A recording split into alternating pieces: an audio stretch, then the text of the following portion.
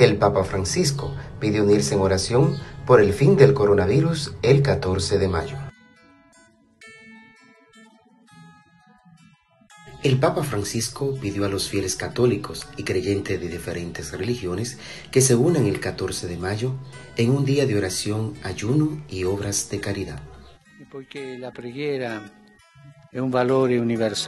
Y porque la oración es un valor universal, he acogido la propuesta del Alto Comité para la Fraternidad Humana para que el próximo 14 de mayo los creyentes de todas las religiones se unan espiritualmente en un día de oración y ayuno.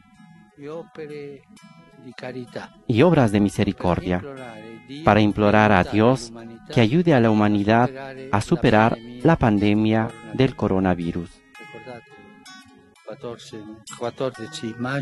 Acuérdense, este 14 de mayo, todos los creyentes juntos, creyentes de diferentes tradiciones, para orar, ayunar y hacer obras de caridad.